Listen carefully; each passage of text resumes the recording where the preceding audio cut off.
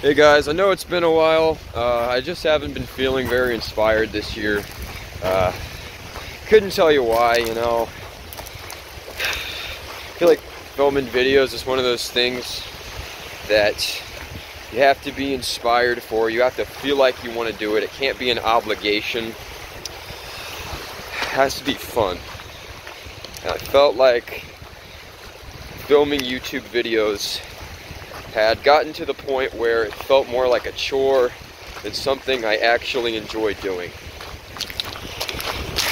So, uh, right now I'm on a break between classes. I'm going to a community college over there for the time being, and uh, whenever I have a chance to, I'll uh, I'll walk on the lake. It's very very beautiful here and you know, although I miss my friends, you know, I miss I miss the sunshine. I never thought I'd be saying that. Uh, it's it's a wonderful environment up here. Um, I'm very glad I moved. I uh, I really am. When I survived the winter, that was uh, that was a little difficult. You know, snow's not all fun and games like they say it is.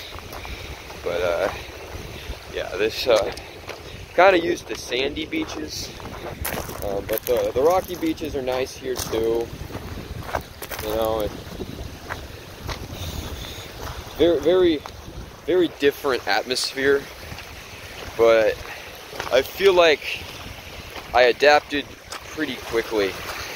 Um, for those of you who uh, who didn't know, I was completely by myself up in our new house in Idaho for about uh, two or three months. I didn't have anyone else with me.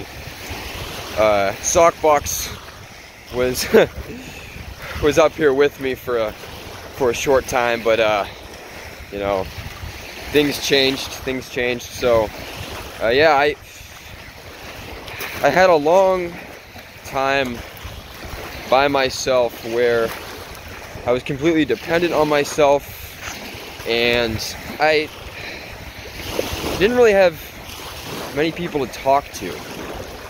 I spent a lot of my time thinking, reassessing myself, you know, trying to improve myself, uh, trying to make make strides and learn to adapt in this new environment that I'm living in. Uh, sometimes it feels like I'm back on square one because in middle school, part of high school too, who am I kidding? I uh, was kind of this social retard and you know, I, I had a hard time making friends and you know, a lot of people thought I was weird, you know. They, they still might do, you know. But after a lot of, uh, you know, self-improvement, I got to the point where, you know, people liked me. They would talk to me. I had friends. And that was really nice, you know, for a couple years. And then, what do you know, we, uh, we, we got up and moved to a totally different state, right? Where I don't know anybody, where I really don't have anyone outside of my immediate family. Uh, and it's been a little rough. You know, I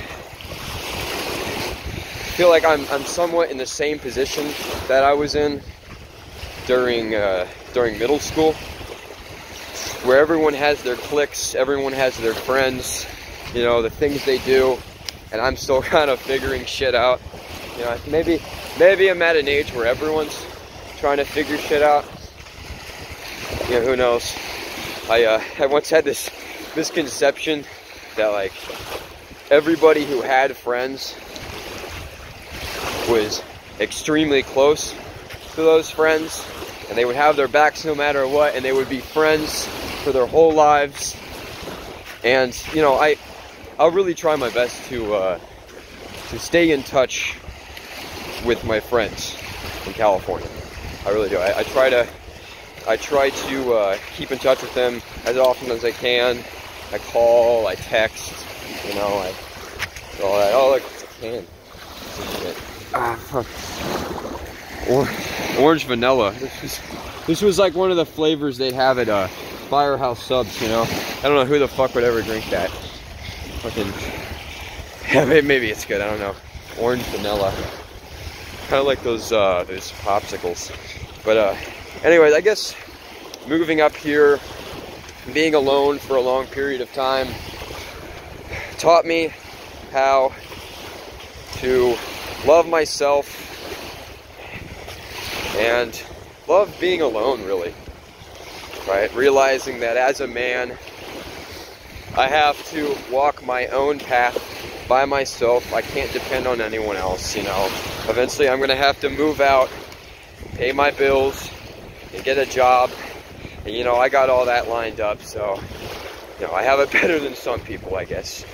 Um, yeah, the, the realization that I I need to be self-sufficient, independent, and like emotionally mature enough to be alone. I, uh, I've been watching a lot of philosophy videos, doing a lot of self-reflection, and a uh, particular philosophy that appeals to me. And I, I, don't, I don't necessarily agree with adhering to one specific ideology. I don't think you should you know, compromise your own beliefs. But uh, one specific ideology that really, really attracted me was, was Stoicism. And uh, I think naturally I am not a very stoic person. You know, I, I tend to have exaggerated reactions to almost everything in my life. You know, whether it's big or small. So I guess the realization that that most things don't matter and that nothing is permanent, everything is passing, is, uh, is quite humbling and grounds me.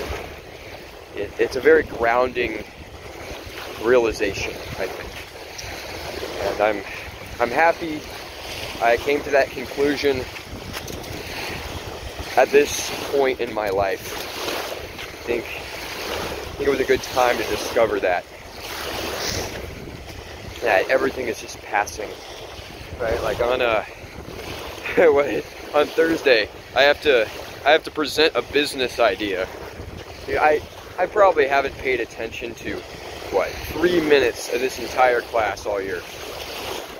Like I don't I don't really give a shit. I just kind of did it for the credits. Um, but you know, it doesn't change the fact I have to I have to present on Thursday, right? All these other kids are all into their business ideas. They have their their financial plans laid out and shit. Dude, I like I don't know anything. What I want to do is I want to well, I don't want to do this in real life, but like my business idea is I want to I want to have a bookstore because I really like to read. I've been reading a lot too.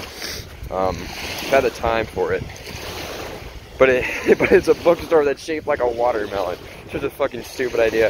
I thought of it when I was like four years old, right? and like it, it doesn't it, it's a dumb idea you know and maybe, maybe i could have put more thought into my idea. You know i could have put more thought into it but i didn't.